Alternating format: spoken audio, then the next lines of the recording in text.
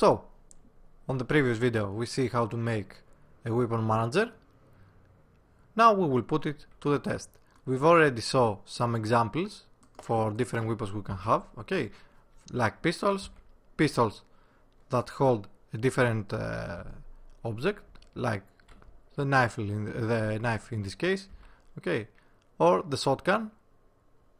Although I changed it a bit and it's not holding it uh, uh, on his the level of his shoulder, okay, but it still works. The pistol with the flashlight, okay, the rifle we saw, and then another pistol, and then here comes the fun. Okay, a different rifle with uh, a front handle, as you can see. A different uh, World War II weapon, uh, assault rifle, I think it's PPS, SH. Anyway, where he holds the he holds the the rifle, the the submachine gun from the magazine. Okay, another World War II rifle, and now here comes the fun part.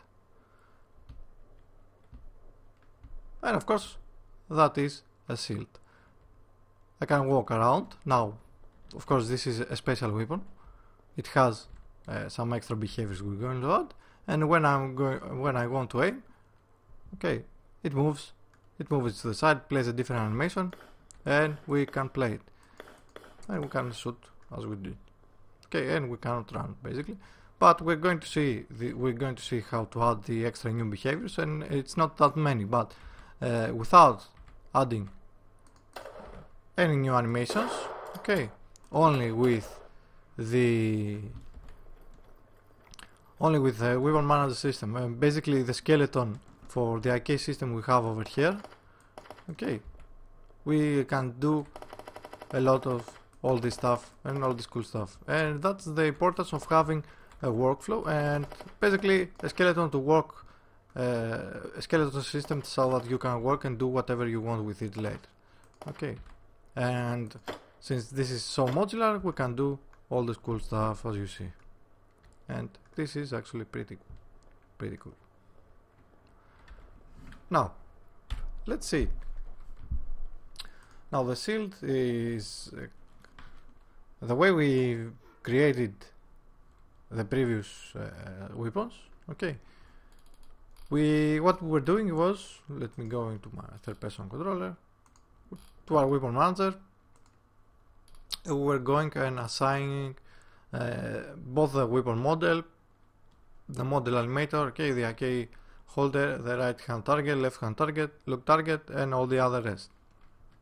Now uh, that uh, leaves us with uh, the case that uh, the IK which is basically what we are aiming with okay it doesn't even need to be uh, under the same offset. So let me unmaximize this let me put this over here so that we can take a closer look what's happening in here. And I should probably close the log cursor. So okay. This has the shield over here uh, enabled. Now the IK holder that makes basically the gun aim well, character aim okay is basically uh, on a different offset than all the other weapons. Okay and you can see over here. And I can place this wherever I want and I have my right hand IK target over here let me make my character aim also. Okay the way we saw it on the previous videos then I can basically do whatever I want and place that wherever I want. Okay. And even I can do everything I want as you can see. He tried the Unity 5.4 beta. And he ended like this. So anyway enough with the jokes so as I was saying Okay, we have the right hand uh, target where we want to use. The left elbow, I'm not even using it. Okay, so I'm not even assigning it. Basically, I've assigned everything else uh, that we had on the previous uh, video. I've assigned it just like I, I would for any case of a weapon. Okay, but the left hand okay, over here, I have another game object uh, which is empty, which follows around the position of the left hand. Okay, and inside that I have my riot shield with an animation. Okay, and the left hand IK target so that we can so that he he's actually grabbing it by the handle. Okay, and I can put it wherever I want in the handle. Okay, now this has an extra behavior uh, which are we're going to see. And we're going to do slight um, slight changes into the scripts we already have. Okay. And uh, and basically this I have the disable game object that we saw in the previous video. I've also have it on the target object riot shield.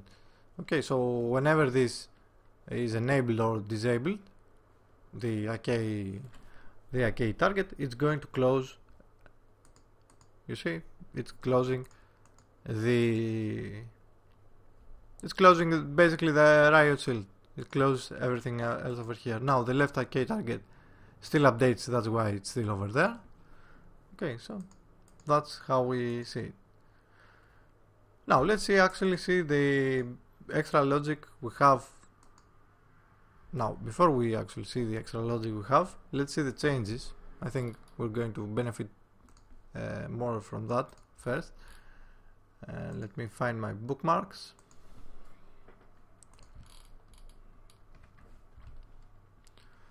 So on the weapon manager what I did is uh, on our close all weapons where we initialize it on, from the start we basically closing uh, our weapons. What I did is go because it was getting kind of boring to assign the muzzle particles.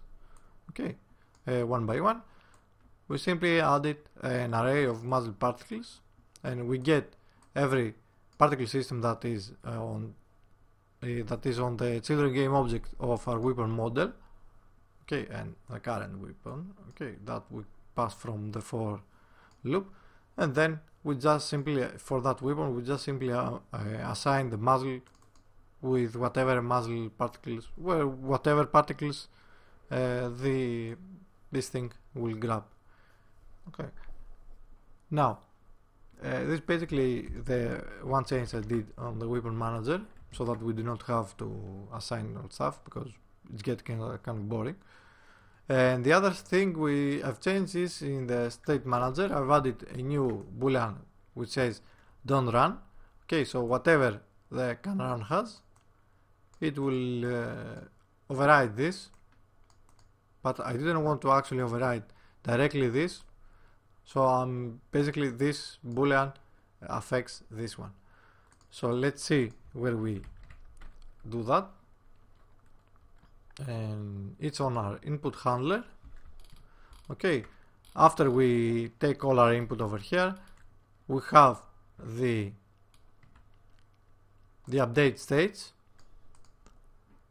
And then we say we had it only to do not run. Uh, yeah if we're not in cover well you will see in the next video what uh, the cover uh, where, where we're using the cover. Okay and uh, we basically if we're not running just do the walk the previous way. So if you're holding uh, the shift key then you're walking. But if you have this boolean don't run it's true then we always we always want to walk to walk. Now that's the most changes you'll see into the input handler. Okay on the next video which is in this weekend you we're going to see some other stuff and we're going to update a lot of uh, the scripts so let's see the the special behavior that the riot shield has okay uh, keep in mind that the riot shield empty game object will always have the same location as the left shoulder. So that means when you animate your left shield, okay, I have this, it has two animations. One when uh, the position we want to have it when it's on idle, and one when we're aiming, which is basically a little bit to the side. Now keep that in mind whenever you are using, uh, uh whenever you are doing uh, the animation. Okay, because if I did, if I animated over here with this same, the, with this position like this, then the riot shield or when we start it's going to change its position and this will look uh, horrible. Okay. So with that in mind let's go into riot shield script. Let me close this. Now basically we need the animator for the riot shield and the state manager and the left shoulder on start we do get component shield the animator. This is the animator for the for the shield. Okay and the states get component parent state uh, manager. Okay on enable now uh, because the on enable is uh, is firing the first time you will start the game too uh, you do not want this to have to you want to make sure that you have uh, the states assigned in any case. So we just do a check if the state is null, go find it. Okay, and then change the state don't run to true because you know, he's holding a shield. That means he can just uh, run with a shield, right? And then on disable, we simply change that to don't run equals false. Now left shoulder, uh, similarly, we do this in update because we want to get the animator from our parent transform from the top animator okay which has the rig for a character. But we need to make sure that this is uh, first the animator is first initialized otherwise we can't just use uh, we, we can't use get bone transform otherwise. Okay. So with this way we simply assign uh, the left so the left shoulder. And then we want this transform position to, to always be the same as the left shoulder. And then anim set bool aim. If we are aiming we want the shield uh, to change its position to aiming. And let's see it in action. Okay this is the idle you'll see. And when I aim it moves around. And because I have uh, the left key the left IK inside my shield then it moves that way. And it looks like he's moving it around. Okay. And looks pretty good.